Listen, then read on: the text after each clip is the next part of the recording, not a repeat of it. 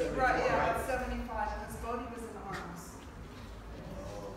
Well, 75, 70, yeah. 75.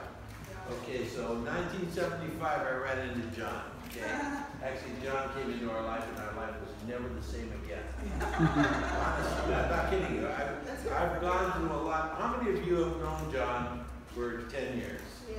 How many have known, known for twenty? Okay, how many thirty?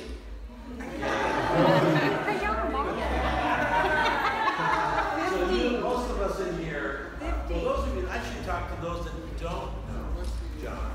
They came by way of someone else, and you came because they brought you in, standing here, you're watching.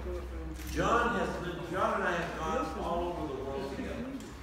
And we've done films together for, since I started making films. I think the very first film that I made was, um, back in nineteen seventy-nine, uh, right after I did Zoot. I mean, excuse me, uh, yeah, Zoot Suit. In nineteen seventy-eight, I did, uh, Wolfen, and, uh, you didn't hit Wolfen though. No. That was in New York, and I couldn't take it with me because I was at that very poor. But we traveled the world, and what you're seeing here is masterful.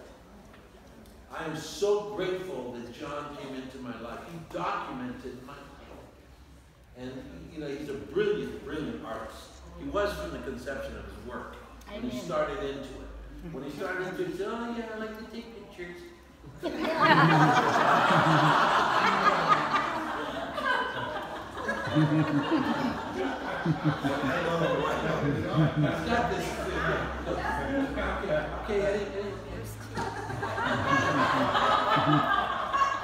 mean, he just like, he comes like this. You know, but relaxing.